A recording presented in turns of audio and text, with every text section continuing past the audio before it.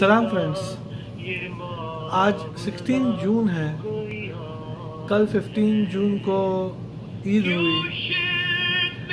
और आई uh, thought कि मैं आप सबको विश कर दूँ। हैप्पी ईद ईद मुबारक हो आप सब लोगों को।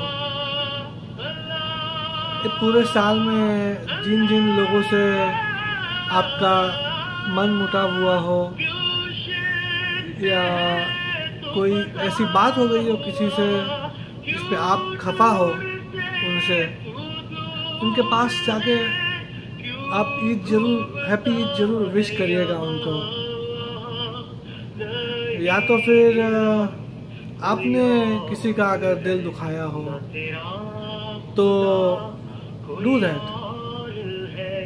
ईद का मतलब ही यह है कि हम एक दूसरे के साथ कोई दुश्मनी ना रखे।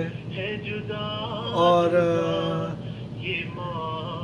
वी बस pray to God pray to almighty pray to Allah कि हर कोई खुश रहे।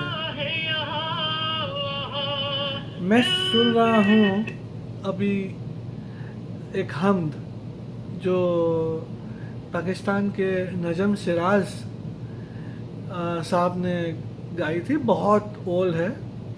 ना तेरा खुदा कोई और ना मेरा खुदा कोई और ऑसम लिरिक्स ऑसम मैं कोई रिव्यू नहीं दे रहा हूँ, लेकिन बस ये बोलना चाह रहा हूँ कि एक ही है ऊपर वाला, जिसके हम हैं, जिन्होंने हमें बनाया है।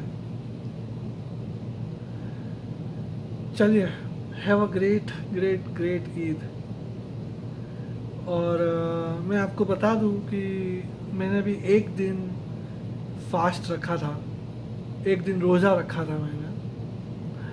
मेरा experience out of the world था। ऑसम मैं प्योर हो गया हूँ। और बस आप सब लोगों को विश कर रहा हूँ मैं। हैप्पी ईद और मैं जिन जिन को जानता हूँ मेरे चैनल के थ्रू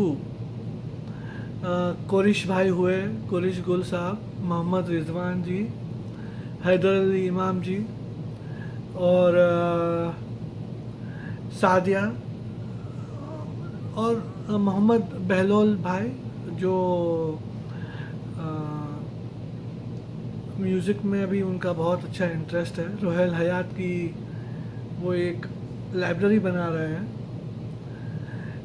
बहुत सारे और हैं जो जिनको मैं मिला हूँ, जिनसे मेरी ऑनलाइन बात हुई है। उनको और पूरी दुनिया को मैं सबको विश कर रहा हूँ। हैप्पी ईद अपने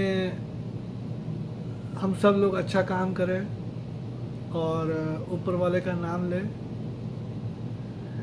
इस ईद में सबको बरकत मिले। अल्लाह की, ऊपर वाले की, भगवान की, ईश्वर की। बस यही चाहता हूँ मैं। Have a great Eid. Thank you